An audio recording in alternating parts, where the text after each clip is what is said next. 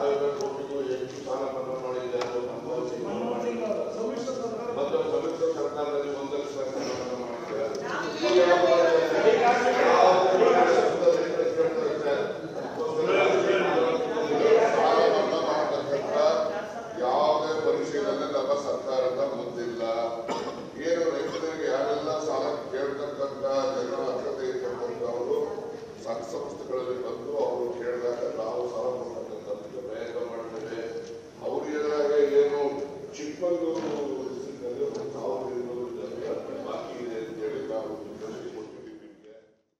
ಚೆಂಡು ಹೂವಿಂದ ಬರ್ತಾ ಇರ್ತದೆ ಮತ್ತೆ ಅದೇ ರೀತಿ ಕಾಫಿ ಪೌಡರ್ ಬಗ್ಗೆ ಬಂತು.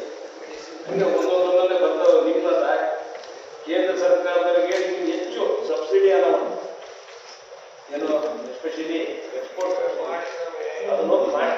ಮಾಡಿ, ಜಾಸ್ತಿ ಮಾಡಿ, ಪ್ರೋತ್ಸಾಹ ನೀವು ಮಾಡಿ, ನಾವು ನಮ್ಮ ರಾಜ್ಯ ಮಾಡ್ತೀವಿ. ಮಾಡಿ, ಹೆಚ್ಚಿನ ರೀತಿಯಿಂದ ರೈತರಿಗೆ ಒಳ್ಳೆದಾದ ಕೆಲಸ ನಾವು ಈ ಸಾಕಷ್ಟು ಮಾಡಿ ನಾವು